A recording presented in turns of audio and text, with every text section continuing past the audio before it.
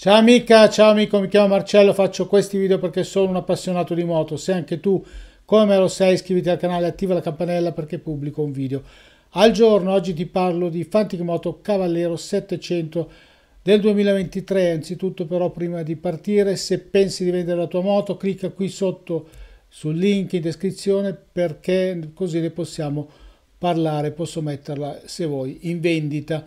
Ma ti dicevo Fantic eh, Caballero, non Fantic Motor, Fantic Motor non c'è più, Fantic Caballero 700 del 2023 perché appunto Fantic ha presentato allo scorso EICMA 2022 il nuovo modello denominato Caballero 700, un modello che si presenta come moto di tipo scrambler, quindi con utilizzo stradale, ma anche con l'idea di poter andare poi in fuoristrada. Si è posizionato accanto alle confermate ormai 125 e 500 della casa madre e rispetto a questo ha introdotto una novità molto importante perché il motore è lo stesso bicilindrico della Yamaha MT-07 e della Tracer 7, quindi è stato utilizzato un'unità motrice sicuramente affidabile e ben conosciuta.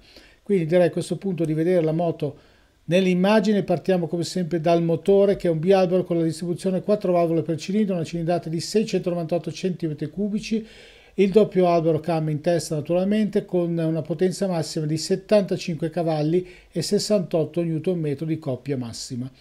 Il telaio è una struttura in acciaio monotrave con rinforzi del cromo molibdeno e forcellone in alluminio, sezione variabile con leveraggio progressivo. Le sospensioni sono della Marzocchi, abbiamo l'anteriore, la forcella denominata VRM a stelli rovesciati con un diametro di stay di 45 mm l'escursione di 150 mm. Al posteriore invece abbiamo un monoammortizzatore sempre VRM denominato VRM Marzocchi che ha la regolazione del precarico e l'escursione della ruota in questo caso anch'essa di 150 mm. I cerchi sono in alluminio a raggi e quindi molto, molto belli adatti a questo tipo di moto, hanno un diametro di 19 pollici all'anteriore e 17 pollici al posteriore. L'impianto frenante è poi formato da un singolo disco all'anteriore, vediamolo meglio qui nell'immagine, di generose dimensioni, infatti ha un diametro di 330 mm, la pinza radiale della Brembo, 4 pistoncini, il disco posteriore da 245 mm, sempre con la pinza della Brembo. Il serbatoio da 13 litri,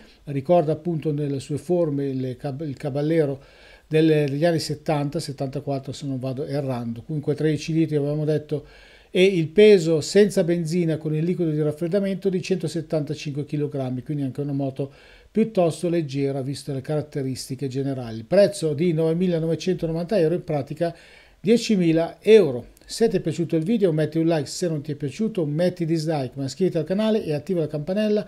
Primo è gratis, non ti costa nulla, secondo faccio un video al giorno, sei sempre aggiornato aggiornato sui nuovi contenuti.